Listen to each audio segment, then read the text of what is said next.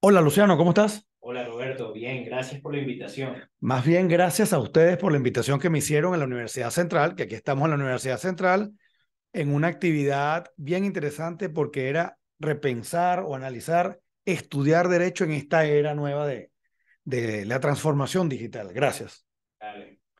Mira, me llamó muchísimo la atención que tanto tú, y date cuenta que ahí dice Renacer, y otros de los coordinadores estaban con la misma franela. Además, habían unas oscuras y unas claras. Cuéntanos un poquito qué es eso de Renacer. Bueno, Renacer Ucevista es un proyecto que nace a partir de la necesidad que tiene nuestra escuela, nuestra facultad, porque yo vi con bastante preocupación, estando ya en quinto año, que no, no hay, no existe esa, esa dinámica política que posiblemente existía años atrás. Por ejemplo, cuando yo entré en la universidad en el 2018, la dinámica política era completamente distinta. Veíamos cómo las personas que pertenecían a los grupos estudiantiles asistían con su franela, vestían su franela todos los días. Y eso es algo que actualmente no está pasando porque los estudiantes no se sienten identificados con un equipo determinado. Y por esa manera, o esa es una de las razones por las que yo pensé en conjunto con los muchachos que conforman el equipo en crear Renacer Ucevista. Ahora, ¿por qué no? Porque en una coyuntura como esta, en donde carecemos de liderazgo político, creo que es necesario que puedan existir personas como, como lo soy yo, que venimos ya de hacer política, que no somos unos inexpertos, ojo, yo soy joven, cada vez sigo aprendiendo, pero tenemos cierta experiencia, podamos generar ese cambio, transformación que tanto necesita nuestra universidad. Me llama la atención que hace referencia, por supuesto, de la parte política, pero la facultad está compuesta no necesariamente de personas que hacen estudios políticos, sino también de derecho. ¿Cómo está compuesto el grupo Renacer USB? Este, pudiéramos decir, hay más gente de derecho, más gente que estudia ciencias políticas. ¿Cómo, cómo es la conformación? Roberto, mira, una de las particularidades que tiene el equipo es que, a diferencia de los demás, no solo tiene estudiantes de derecho, sino que también tenemos estudiantes de la, de la Escuela de Estudios Políticos y Administrativos. Sobre todo, eh, esta idea nace porque nuestros hermanos de la Escuela de Estudios Políticos y Administrativos no tienen sede actualmente. La sede de, la Escuela de Estudios Políticos y Administrativos se quemó y no, no, hasta el sol de hoy no dio ni respuesta por parte del Estado ni por parte de las autoridades de la universidad. Esa es la parte de la universidad que llamaban los galpones, ¿no era así? No, ¿No? los galpones eh, están ubicados cerca de... Ah, ya sé, ya me acuerdo cuáles son los galpones, sí, sí, sí. Aunque estos parecían unos galpones también en el sentido de la estructura. Ahí es donde daban, estaban los salones de posgrado, si mal no recuerdo. Sí, los salones de posgrado. Los salones de posgrado, sí. Eso también es, es otra lucha que debemos de dar porque el posgrado se paró durante muchísimos años. O sea, e, es una realidad que la Facultad de Ciencias Jurídicas y Políticas de la UCB durante mucho tiempo no estuvo dando clases en posgrado. ¿Por qué? Porque no había una sede. Y esa fue una razón válida para las autoridades de que no se pudiesen dar más clases. Mira, la experiencia de las universidades y principalmente, digamos, las públicas y en este caso en particular el de la UCB, es como una ciudad o un estado dentro del estado. O sea, y hay tensiones, hay acuerdos, hay, digamos, este, temas de logística, etcétera, etcétera, etcétera. O sea, tú te estás formando para luego pasar, digamos, a, una, a un, campo mayor. Y ocurre, y está ocurriendo, que hubo muchísimo tiempo sin que se hayan renovado las autoridades, todas las autoridades de la universidad, que no solamente en derecho, en, ciencias, en general. Ahorita viene, está ya, digamos, en proceso ya de, elecciones, la, las campañas vienen ahorita, ¿Cómo se siente el estudiantado frente a esto? Porque muchos de los que estudiaron nunca pudieron vivir un cambio. A lo mejor eso puede haber sido una de las razones por las que no hay esa identidad, porque estuvo como un letargo mucho tiempo. Entonces, gente entró y nunca vivieron esa, esas tensiones propias de las elecciones universitarias. Sí, bueno, a mí me llama ahorita bastante la atención cómo los profesores probablemente están haciendo lo que nosotros en las elecciones pasadas hicimos era conversar con la comunidad universitaria, tratar de convencer o convencer, y también eh, es bastante interesante, ¿no? Cómo, cómo los profesores ahorita están muy metidos en lo que es la dinámica política. La campaña. La campaña. Y, sí. y también eh, como, por ejemplo, hay una realidad y es que el estudiantado se siente muy apartado de lo que pase, o sea, le, le es igual, ¿no? Yo creo que ahí está nuestro, nuestro, nuestro trabajo como dirigentes estudiantiles de poder orientar a los estudiantes para que, bueno, puedan participar en estas elecciones y puedan tomar la mejor decisión a la hora de votar. ¿Cómo están? Porque me imagino que también habrá postulados a las posiciones de los estudiantes ya en las nuevas autoridades, nuevas estructuras, ¿no? Bueno, las elecciones estudiantiles no se van a hacer, o sea, que no, no habrá las elecciones autoridades. Ok. Las elecciones estudiantiles lo más probable es que sean para el próximo año. Es decir, que van a contar con la inercia del procedimiento y las tensiones de este, de este año, serían. Hay una, hay, digamos, esto una reflexión personal. Y es que, por supuesto, si no le he llegado a la edad, si tuviéramos tenido estas experiencias en hace 10, 20 y 30 años, la historia hubiese sido otra en todos los contextos personales, el Estado, etc. Pero hay algo que me llama muchísimo la atención, que es que los profesores, y más que todo en estas carreras que son como dogmáticas, tienden a verse como una figura de autoridad y que los estudiantes lo que están es pasando, digamos, este, eh, tras pies más tras pies, y no hay, digamos, como un ánimo de excitar a los, a los estudiantes a aprender más, a crear cosas nuevas, a ser más proactivos. ¿Cómo ves tú los estudiantes actuales en primer año, que tienes muchos muchachos jóvenes, digamos, en Renacer, y ustedes que están ya, digamos, de salida en el mundo universitario, pero no el de participación.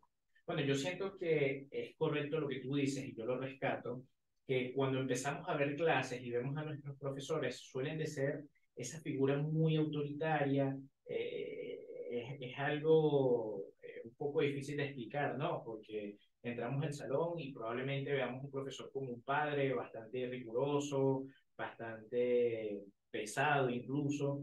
Y yo creo que una de las maneras en las que el, el estudiante pueda salirse de ese esquema y no, no, no, pueda quedarse o aspirar a ser así o aspirar a ser eh, totalmente a lo que dice la ley o a estudiar única y exclusivamente eso, es las alternativas que se pueden dar a los, al estudio universitario, al pregrado, como por ejemplo pueden ser eh, los programas, los diplomados, incluso la conferencia como la que tuvimos con, contigo hace nada, ¿no? Bueno, yo he sido muy crítico y te digo que al principio cuando yo tenía un tono así, me invitaban y pero no me llamaban más. Luego vino una fase como que, que creyeron, creyeron no, sino que yo, mira, esta es una propuesta, perfectamente hay otras propuestas. Y el mundo está evolucionando. Totalmente. O sea, a mí me parece que el mundo está evolucionando y no, no, no nos podemos quedar estancados en las cosas del pasado, hay que avanzar.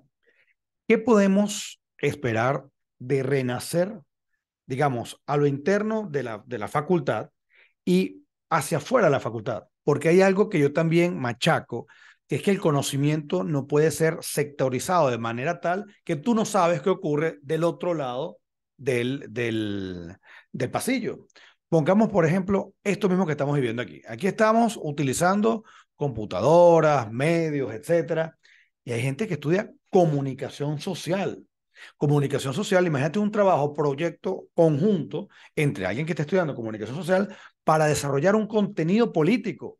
Porque si te pones a ver los que estudian política, no saben comunicación, la comunicación la ven de una manera como si la estuvieras contratando, y el profesional no del futuro, el profesional de hoy tiene que tener conocimiento, por lo menos el esencial de comunicaciones, saber prender una cámara. Y a lo mejor nosotros estamos aquí lanzándonos de una manera totalmente temeraria. ¿Qué posibilidades tenemos de que Renacer sirva para también esos contactos con, otras, con otros estudiantes? Bueno, mira, yo creo que hay un plan de trabajo. Nosotros hemos venido trabajando en ello. No solo enfocarnos en la escuela y en la facultad, sino también en la universidad y en el país. Y un punto que yo quiero rescatar acá es que Renacer Ucevista tiene un planteamiento de cara a la sociedad. Por ejemplo, nosotros, o uno de los ejes principales de este equipo, es la actividad social que nosotros vamos a realizar en la calle, apoyando a las personas que se encuentran en, en, en condiciones de calle, o en personas que, que, no tienen techo donde vivir y poderlos apoyar de alguna u otra manera. Eso es algo que pronto le vamos a ir adelantando en nuestras redes sociales. Con respecto a lo que me comentas de cómo podemos unificar, por ejemplo, una conferencia o un programa que se pueda dictar y que no solo sea específico para la Escuela de Derecho, la Escuela de Estudios Políticos Administrativos, es hacer la invitación y la extensión a las demás eh, facultades y escuelas y también hacer el trabajo de hormiguita, como quien dice, o sea, ir a la facultad, entregar bocetos, eh, hablar un poco con los equipos que tenemos allá y que puedan también invitar a, a, los estudiantes de tal manera que se incentiven y puedan participar también en estas conferencias. Sí me llamó la atención que había una de las muchachas que era de, de fases, era de economía. De economía, sí. De economía. Entonces la ventaja es que si hay esa, esa interacción, además está uno frente al otro. Queda justamente al frente de la escuela de padre. Mira, yo soy, a pesar de que me siento identificado con estas, con estas fotografías, porque mi papá era egresado de la, de la central, yo no, yo soy de la católica, y yo sí sé que hay como ciertos sectores, ¿no? Esto es ingeniería, esto es derecho, esto es administración, comunicación social, y después hay áreas comunes que uno se va intercambiando. Pero también ocurre entre universidades. Sea, uno tiene, me imagino que también tienes tus amigos que son de la Católica, otros que son de la Santa María, de la Monte Ávila, y ese intercambio a lo mejor de, que es informal, porque, porque Caracas dentro de todo es una ciudad pequeña y uno llega a tener amigos en común del colegio, etcétera, pero ese intercambio te nutre en el sentido de ser crítico frente a cómo está una universidad frente a otra en tal contenido, en tal situación. ¿Cómo está ese tipo de, de, de logística o informal de relaciones con otros estudiantes de otras universidades? Mira, yo creo que nosotros, primero que nada, sobre todo los equipos estudiantiles, que al día de mañana aspiramos a tener una representación pública, es importante que podamos tener relación en todos los sentidos y sobre todo con las demás universidades, porque al final es el bastión de la academia, ¿no?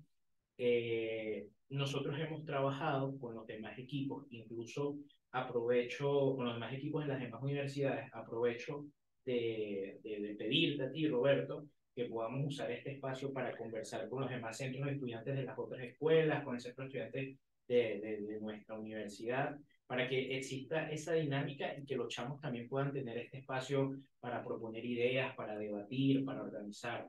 Mira, cuenta con ello. Es más, toma tú la vocería, tú me dices, mira, busca de qué representantes tienes las distintas universidades y, la, y ubicamos la oportunidad. Es más, bienvenidos y de aquí, y podemos hacer una reunión, más que reunión como tal, un tema específico y lo lanzamos. Ahora yo voy a lanzar otra propuesta. Casualmente, antes de que tú llegaras aquí, yo estaba analizando, porque tuve una reunión en la cual hablábamos sobre inteligencia artificial y derecho, ¿no? Entonces, hay mucha gente todavía diciendo que nos van a quitar el trabajo y los profesores dicen, bueno, pero ¿cómo alguien va a hacer un trabajo con inteligencia artificial? ¿Cómo lo vamos? Oh, hay cosas que hay que pensar. Resulta que yo me, me ideé un personaje ficticio, le puse un nombre, todavía no se lo voy a decir, y le voy a poner una pregunta a inteligencia artificial. Y esa inteligencia artificial me va a lanzar su respuesta. ¿Ok? Okay. Y la idea es ponerlos en un lugar, una plataforma, y que le caigamos a todos a preguntar, no, a criticar. Porque una de las cosas que yo creo muy grave es que todo lo aceptamos como si viniera, o sea, como un dogma. Tenemos que creerlo así. Y así ocurre con la ley, con la sentencia, con la doctrina, cuando en realidad debo ser críticos. Y con este nuevo fenómeno hay que hacerlo así. Entonces, a mí me gustaría, ya que vamos a contar con algunos estudiantes de las distintas universidades, imagínate ese mismo tema y que todas las universidades opinen, o los estudiantes. Sería interesante. Temas álgidos, temas propios a lo mejor de Venezuela, temas globales, como lo puede ser eh, la defensa, de, a lo mejor del medio ambiente, los medios, el, lo que está pasando entre Rusia y, y Ucrania. Porque yo creo que el estudiante, el profesional, el futuro profesional, tiene que estar empapado con esto y la utilidad que se da esto. ¿Qué te parece esa, esa propuesta? Me parece bien. Vamos para adelante con esa propuesta. Entonces, llégales a los demás estudiantes diciéndole eso. Claro Ok. sí. Es más, lo van a ver aquí y todo. Ya para ir cerrando la idea, porque este, eh, cosas que uno va aprendiendo, uno disfruta aquí, yo estoy aquí y me puedo quedar un rato. Uf, es más. El problema es que quien lo está viendo ya no lo hace. Hasta eso nos los enseñan la gente de comunicación, por favor. Vamos a tratar de buscar a alguien que nos venga a ayudar con esto. Y nos dice, mira, ustedes no se pongan esa camisa, ¿qué, qué locura están haciendo? Pero nos atrevemos a hacerlo. Lo importante es atreverse. O dice, peínate así, Sí, sí, sí, sí. Mira, en la vida hay que atreverse. Y Yo me atreví con esto y hay una gente que me critica y otros que me han mejorado. Yo he contado mucho con eso. Vamos a ir cerrando. ¿Qué esperamos de Renacer UCB en estos, digamos, primeras semanas pre-elecciones, que ya son próximas, y luego de las elecciones, ese contacto con la universidad y con las autoridades nuevamente que se van a elegir eh, próximamente, y luego aguas abajo hacia los distintos, este, digamos, cohortes de distintas generaciones que vienen. Bueno, yo espero, eh, primero que nada, eh, que Renacer vista más allá de ser un equipo, sea una familia y de ellos también espero que se pueda dar todo lo que hemos escrito, todo lo que hemos pensado, se pueda eh, materializar. Yo creo, y, soy fiel creyente de eso, que incluso lo recuerdo y lo tengo escrito, lo tengo guardado, en donde esta franela simplemente era un boceto en una hoja. Y hoy en día, mira, ya la vestimos, ya estamos haciendo actividades. La próxima semana tenemos una actividad o una conferencia que tiene que ver con todo el tema del derecho de, de propiedad. Y me parece que vamos a seguir teniendo temas que tienen que ver con la carrera, pero hay algo que puede destacar y que al final nos puede unir como generación y es el tema de la era digital, cómo la vamos a ir trabajando y cómo eh, todo este tema de las redes sociales lo vamos a ir implementando en la nueva política que va a tener la universidad. Excelente. Además de Renacer, ¿cuántos otros grupos hay? En la universidad. En la, universidad. En la escuela. En la escuela, hay ocho, nueve equipos. Eh, eh, es bastante. ¿Tú no te molestas de que la invitación es extensiva a todos los grupos, verdad? ok.